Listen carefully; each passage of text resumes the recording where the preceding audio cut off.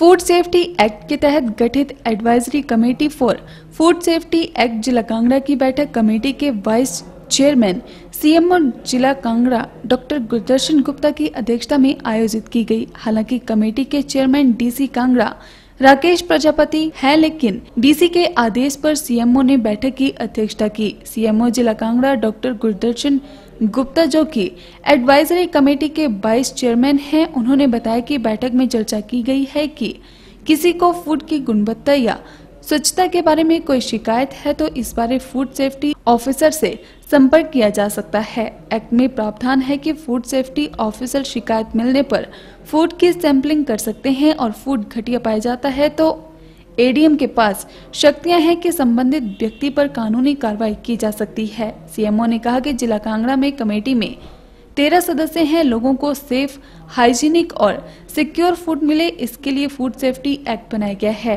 Act के तहत जो भी व्यक्ति फ़ूड हैंडलिंग में शामिल है, चाहे कमर्शियल हो या नॉन कमर्शियल बेसिस पर हो, उनके लिए रजिस्ट्रेशन या लाइसेंसिंग करवाना अनिवार्य है। जिन लोगों का कमर्शियल फ़ूड बिज़नेस प्रति वर्ष 12 लाख रुपए से कम है, उनके लिए सिर्फ़ रजिस्ट्रेशन करवाना और जिनका टर्नओवर 12 लाख से अधिक है, उनके लिए लाइसेंस की आवश्यकता रहती है। इस एक्ट में प्रोविज़न है कि जो भी व्यक्ति पानी और दवाई को छोड़कर कोई भी वस्तु मनुष्य खपत के लिए बनी है, उनके लिए अपना रूटीन एनुअल चेकअप करवाना आवश्यक है और स्वच्छता मानक अपनाने पड़ेंगे। उसके बाद ही संबंधित व्यक्ति का रजिस्ट्रेशन या लाइसेंसिंग विभाग द्वारा की जाती है।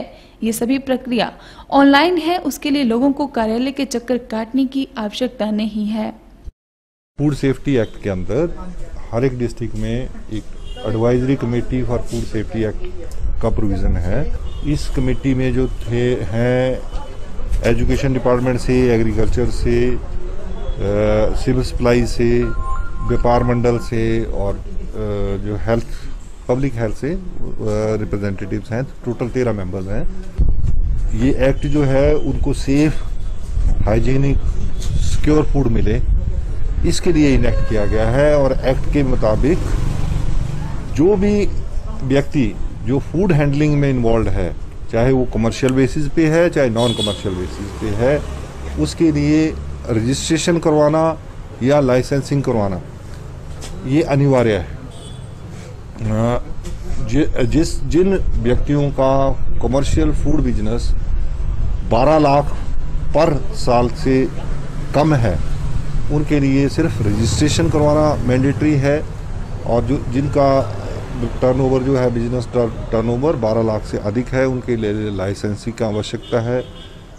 इस एक्ट में प्रोविज़न है कि जो भी व्यक्ति किसी भी फ़ूड आइटम को food food item means except for water and drugs पानी और दवाई के सिवाय कोई भी ऐसी वस्तु जो ह्यूमन कंजम्पशन के लिए बनी है that is defined as food उनके लिए अपना रूटीन एनुअली मेडिकल चेकअप करवाना आवश्यक है।